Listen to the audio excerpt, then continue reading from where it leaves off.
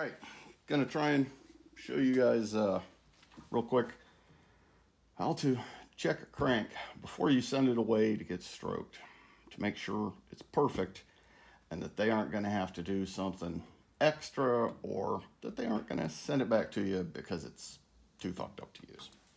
All right, today we got a brand new 3120 crank, fresh out of the saw. Got a pair of one, two, three blocks. Gonna stand them up tall. We're gonna balance our V blocks on top, either side. Ideally, I wouldn't be sitting on the bare metal of the top of my toolbox, but would instead be on a piece of uh, machined marble or steel plates. Hopefully later today I'll win those steel plates on eBay and they'll be here, but for now you get the idea. You center your crank, Make sure you got a little tiny gap.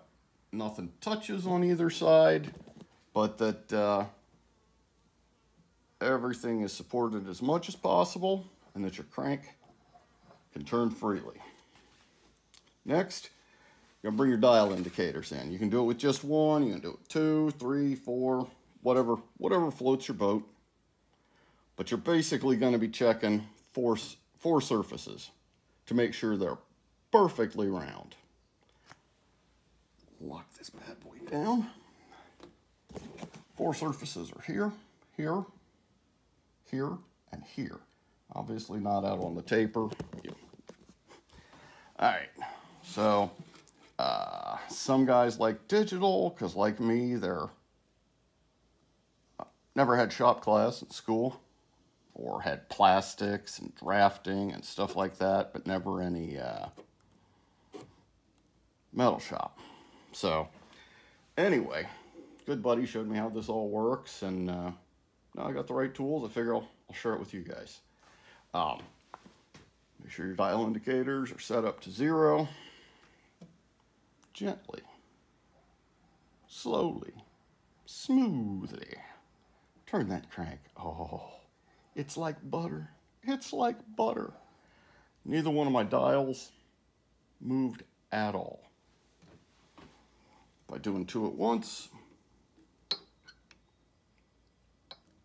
you can then set up to do the other two surfaces. Ideally, because it would look sweet on camera, I'd have four of these with four different arms reaching in so it looked like a Marvel supervillain.